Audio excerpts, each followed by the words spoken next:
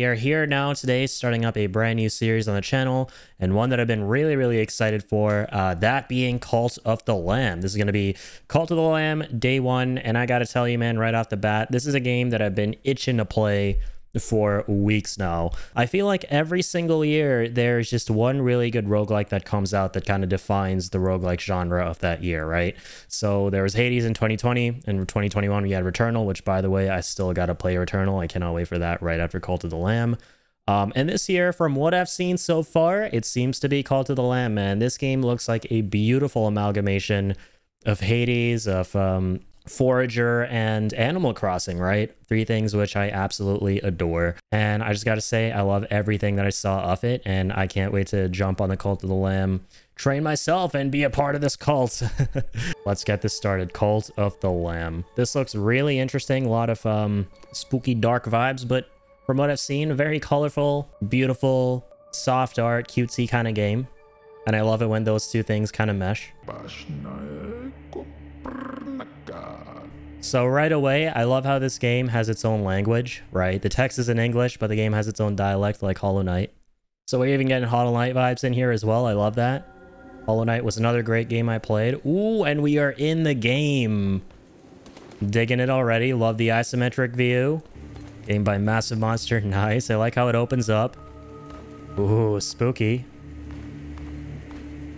This is really dark. But in the coolest way possible.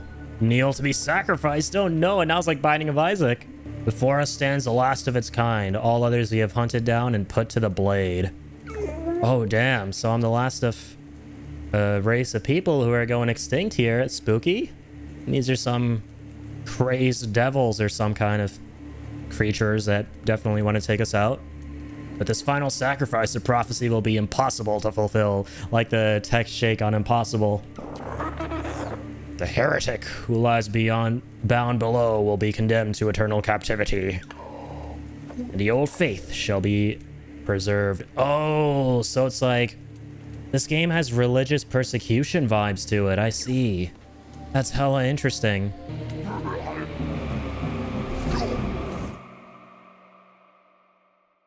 God damn. Right out the bat, really compelling game. I love how the music is so trippy. The World layout is so trippy too. We're in some otherworldly dimension right now. The one who waits. What is that thing? Come closer. Fear not. For those, for though you are already dead, I still have need of you. Those foolish bishops thought they could keep you from me and death, but instead they sent you straight to me. Oh shit. Okay, I love how, man, I love how art imitates life, right? This is like the the age-old tale of how there's a dominant religion that the priests want to maintain, and anyone who's not a part of it and believes in some kind of old faith is an outcast who deserves to be put to the blade. And they thought they were preventing us from reaching him by killing us. But ironically, we got to him. Damn. I will give you life again, but at a price. All I ask is for you to start a cult in my name. Do we have a deal? Ooh, we have dialogue choices here too. That's so cool. Okay, here we go. It's cult in time. Absolutely. Absolutely, sir. I've been waiting a long time for this game. Ooh. Hell yeah, I love the opening to this game. It's great. I love it. If you guys saw my Hades review and saw bits and pieces of my commentary of that game, you'll know I love games that just get right into the thick of things. Woo! Look at that. We're getting into the combat. I love the music. Funky. It's like funky lo-fi, right? Lo-fi is usually very chill, but I, I, don't know how I describe the music here.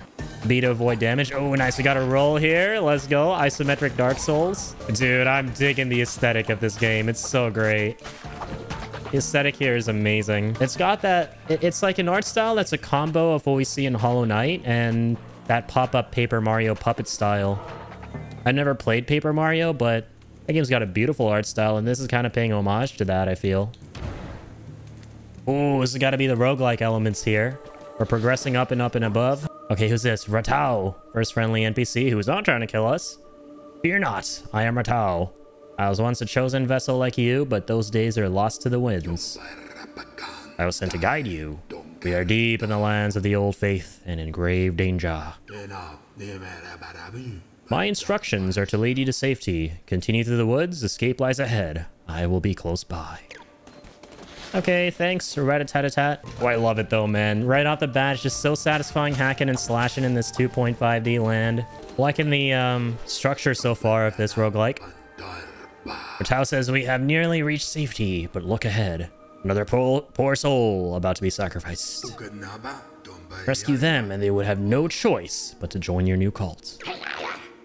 Oh, so yeah, I've heard about this vaguely, right? So we can basically recruit little dudes to our cult in this game.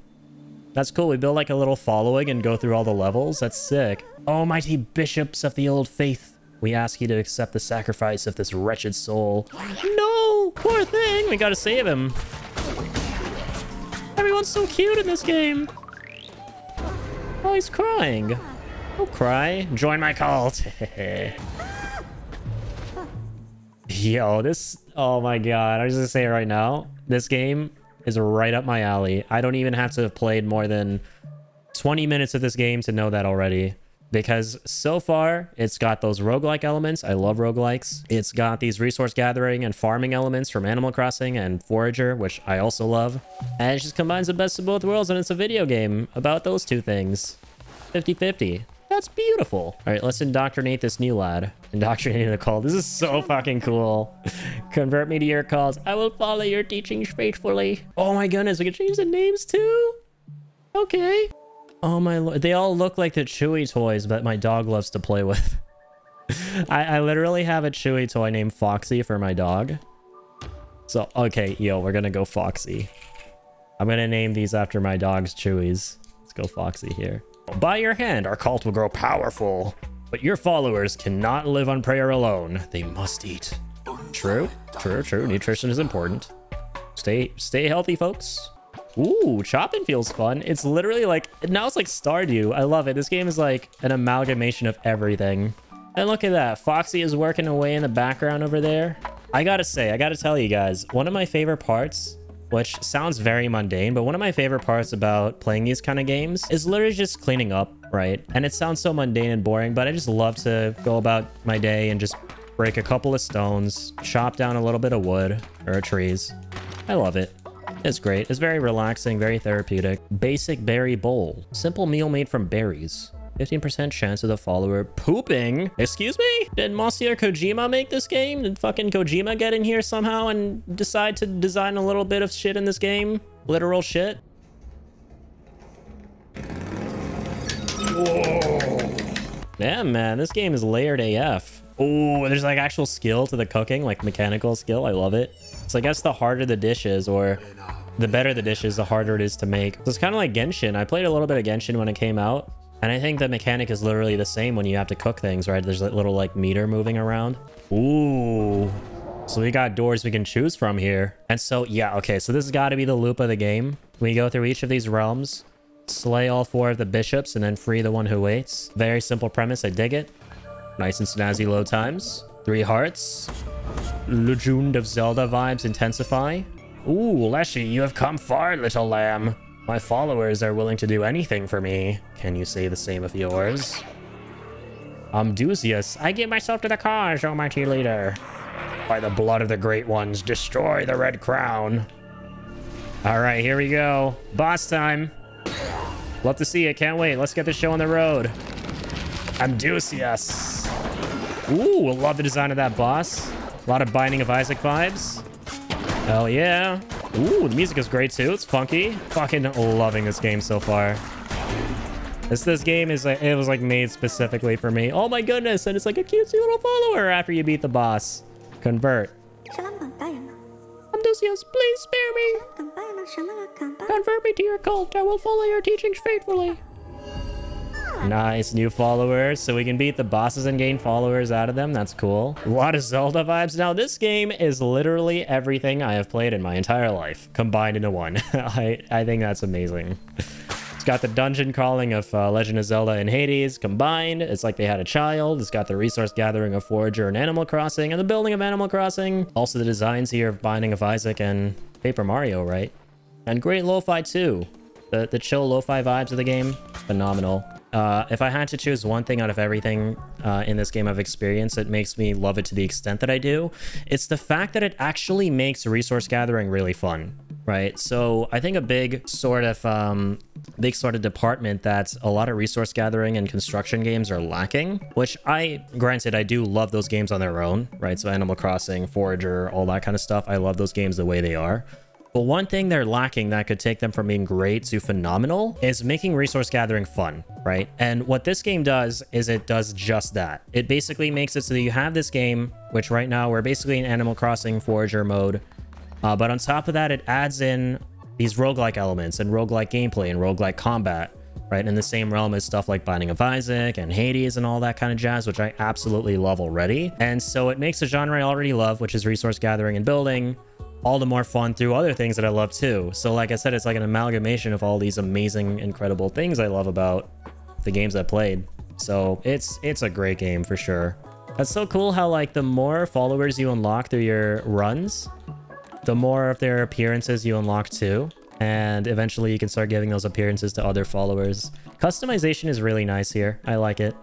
Okay, so like the more followers we have, the more devotion we get over time, right? Because they're a part of our, our cult. And we got a shrine that relates to all that too. That is amazing. Ooh, I like this, man. This is one of those games where if you got to go into a tiny room, it's very old school. Like you don't completely populate the screen with environmental details. It's only that tiny little corridor's worth of environmental detailing. Sermon. Perform a sermon drawing energy from your followers to bolster the power of the Red Crown. Hmm. I shall.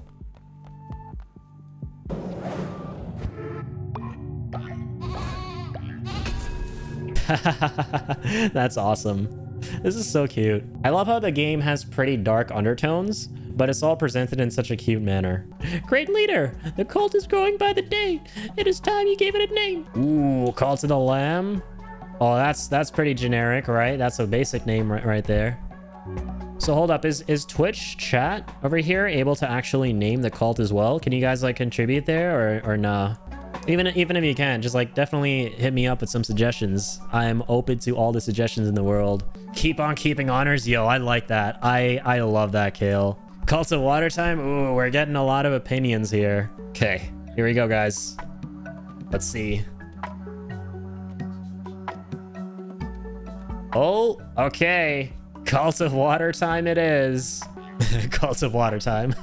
that has a nice ring to it. It's so Animal Crossing, but you know what's ironic about this game? Is it's cuter than Animal Crossing, even though Animal Crossing is literally the foundation of that game is on cute, adorable, wholesome vibes.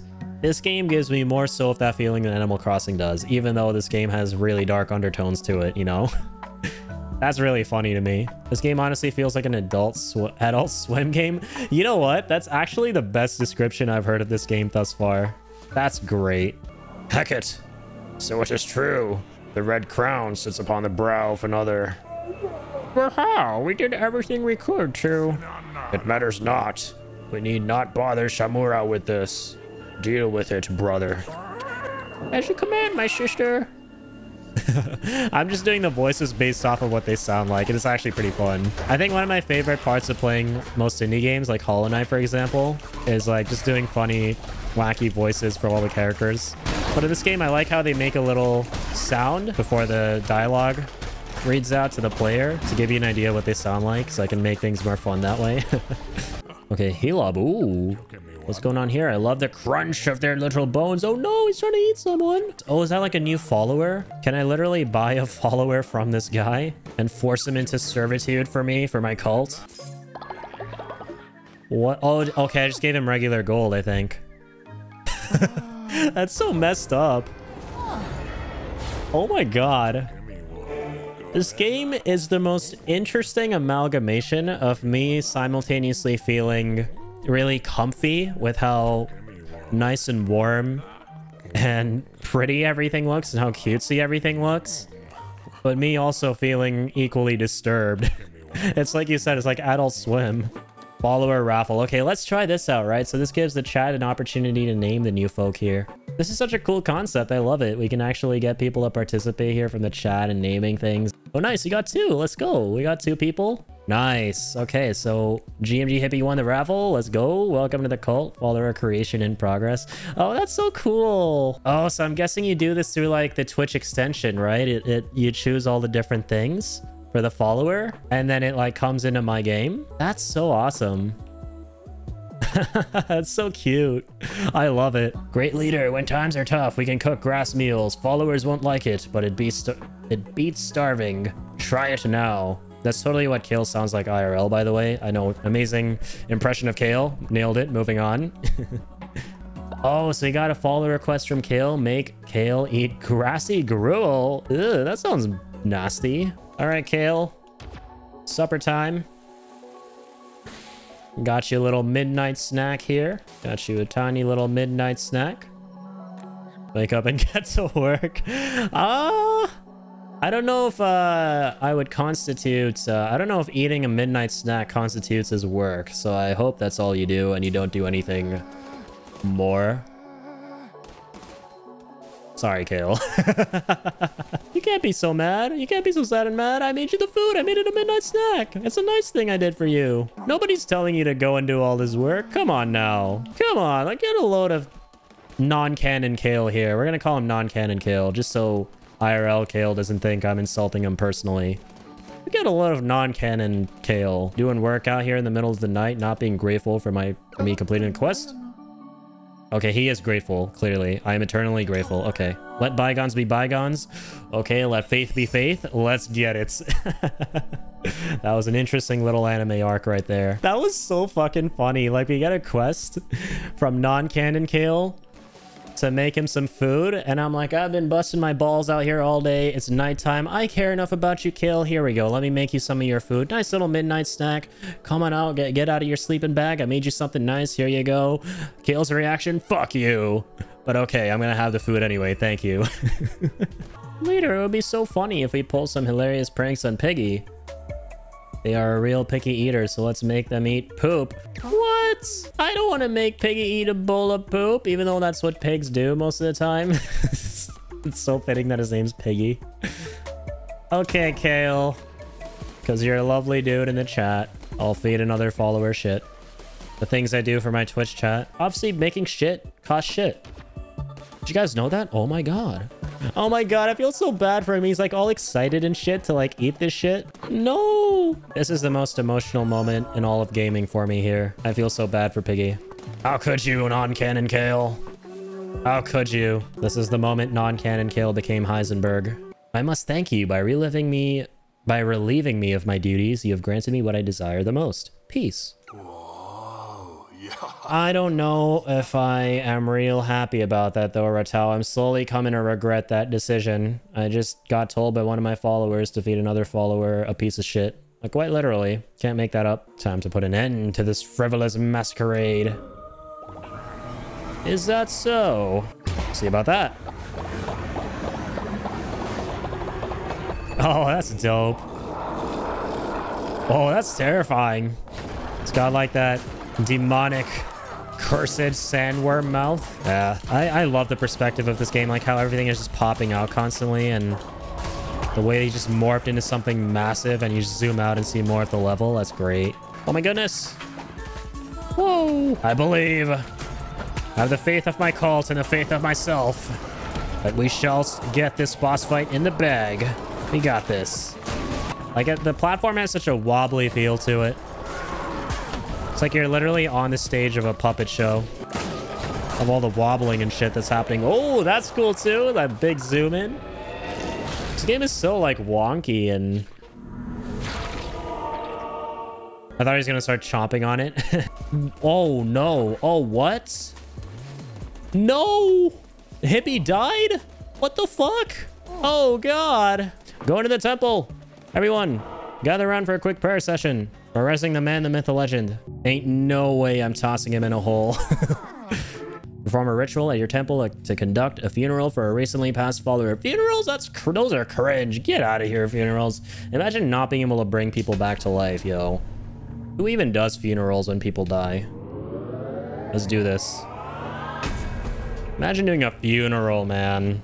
Come on. They, start, they say art imitates life. Life's all about resing the dead, right? That's what we do on a day-to-day basis. But what is death?